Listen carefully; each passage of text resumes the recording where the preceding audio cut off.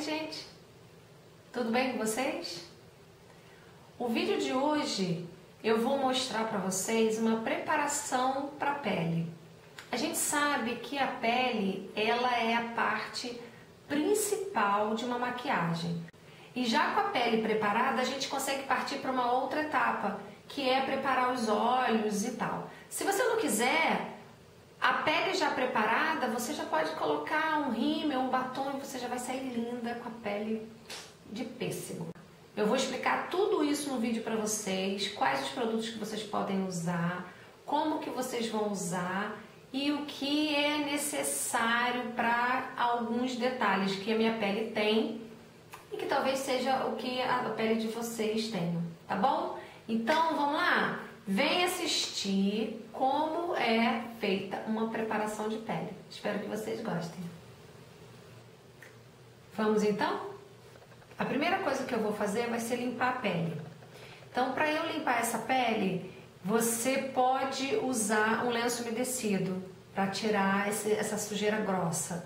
Eu vou utilizar esse produto aqui da Contém Grama, que é um fluido de limpeza que ele, ele, ele já é um pré um preparatório para maquiagem.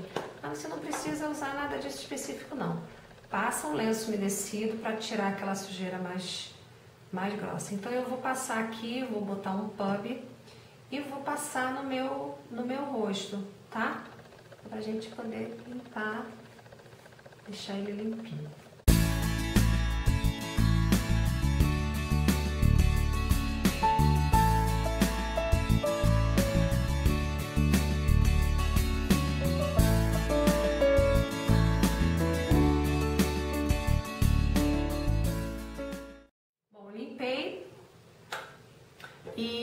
Eu queria só mostrar para vocês assim o meu rosto, um rosto que já eu já tinha lavado com um sabonete líquido e olha, já sai e ainda tem sujeira, tá?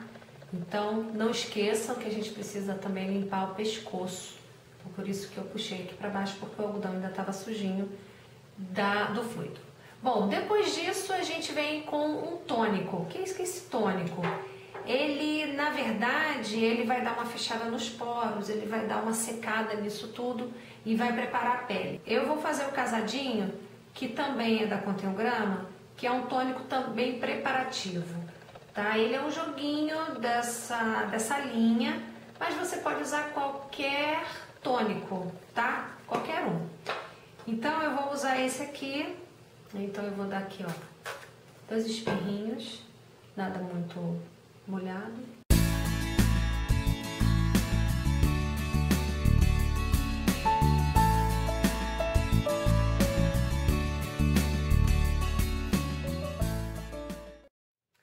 Bom, passei. Vocês devem ter observado que eu fiz esse movimento. Então não esquece, a gente sempre tem que fazer a limpeza sempre subindo, sempre limpando, sempre levantando, tá? Não esquece de fazer isso.